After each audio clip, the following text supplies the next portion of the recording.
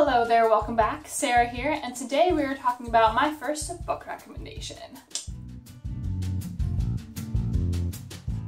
Today we're going to talk about the book called Brazilian Sexy. It's by the author Renee Padilha. She is one of the founding sisters of the J Sisters Salon in New York City, and she is said to be the founder, developer of the infamous Brazilian wax. So yes, I will just from the get-go say I do think this book, well no, I don't think, this book is more targeted towards women. Which normally I would say, so whatever, if you want to read the book, read the book, and you can. She just happens to touch on some things that do have to do with the anatomy of being a natural born woman, so be that what it may be.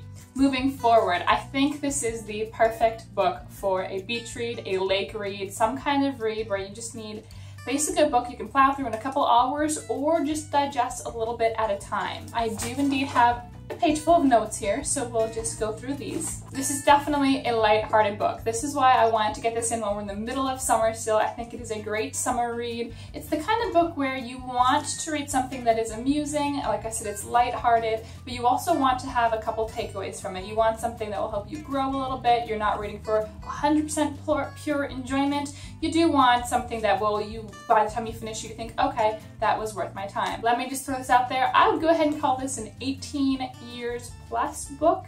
Um, it's pretty PG, PG-13 up until the last couple chapters where it gets a little more graphic. Her style of writing is kind of interesting. There are certain times where I think, okay, this was someone who was either not a natural born English speaker or it was translated a little bit and I like that it kind of it definitely adds her own personality into the book just a really relatable and easy read it's a kind of read where you kind of feel like you're talking to maybe be a big sister your best friend or an aunt or your mom you kind of read this taking away lessons from someone who's had a little more life experience than the average 20, 18, 24 year old. And with that also being said, I wouldn't say this is only for that 20 year old range. I would say this for any age range for the adult woman.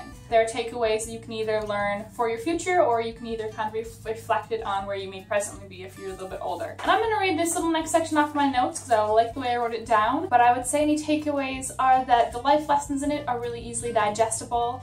The messages are a lot of messages of self-love, of focusing on really being enough in and of yourself, which I think is really important, especially in this day and age where social media reigns. It's completely chock full of anecdotes from her own life or from her friends' lives or from our client's life. So that's kind of fun because you little you dive into little memoirs and stories throughout the entire book. And a lot of just kind of helps develop a perspective for when you're going through issues and problems in life. So there are definitely a couple lessons that I think I will potentially apply to my life and there are some things that I thought, okay, it's cool to read, but I don't know if it's going to be applicable, such as like different beauty tips. I haven't tested any of them, frankly, but who's to say they're not great? There's even a recipe in here that I also have not tested, but it could be good. In fact, if you test it out, let me know in the comments below if it worked out or not for you. I would say any issues I have with this and there's really only one I can think of, is coming from the feminist side of myself.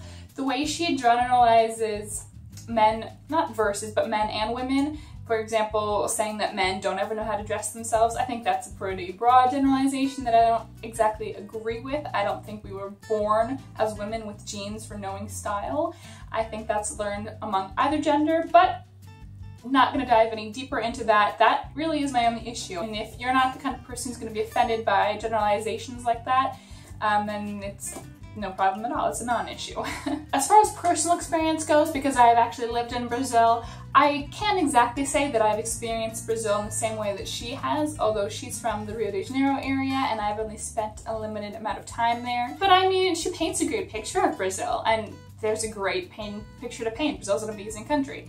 Um, but my experience is definitely a little bit different with the women here. Um, not in a negative way, just in a different kind of way. And I mean, as a final wrap up, I think this is the kind of book that you'll be glad to read, but you won't feel the need to hold on to. You'll be glad to pass it to a girlfriend, so it's not going to be weighing on your bookshelf for the rest of the year. So those are my thoughts on the book Brazilian Sexy.